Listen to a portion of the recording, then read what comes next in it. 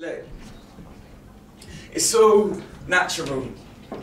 Yeah, whether you're doing business or running with a pack of wolves, we are ultimately animals. We're all ultimately animals. And so, here's to forgotten forget-me-nots. No sooner said than, wait, what was I saying? Ah yes, and here's to the crops that were left rot, and to them that got squashed by the pavement. A toast to the petals that question God. Like, what's the cost that we're paying for what we're attaining? And poor Daisy, whose stem was chopped, silent, sobbing in pain, she died locked in that chain. Look, now there's a bee just passing through with pollen. She's seen how the passion fruit blossomed and the apples grew rotten, but there's something there. A man, I need to stop him. And she stung the bread for trampling a cabbage-filled allotment. Can you feel the magic of just having a habitat to cotch in? Man will spend days watching a mammal handling its offspring. Because off come the gloves, and you'll be dazzled by the fox's ring. And I can't help but smile, imagining an otter swim.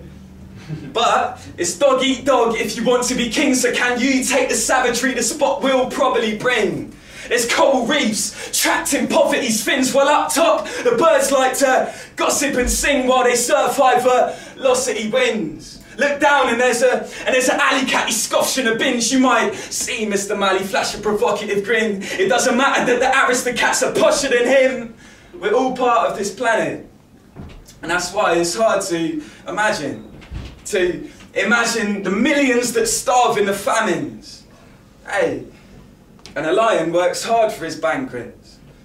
I just popped to Iceland, asked for a sandwich. Damn, you gotta laugh, man, it's madness. Try and find the art in the atlas. Move toward grassier pastures, standard. I ain't right, boss, I'm massaging the canvas and this. Dear listener, I wear my heart on my antlers.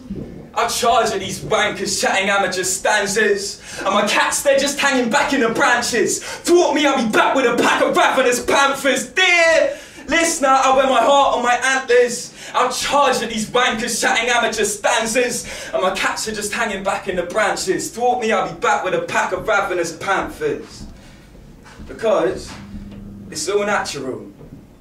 Whether you're doing business or running with a pack of wolves, we are ultimately animals. We're all ultimately animals.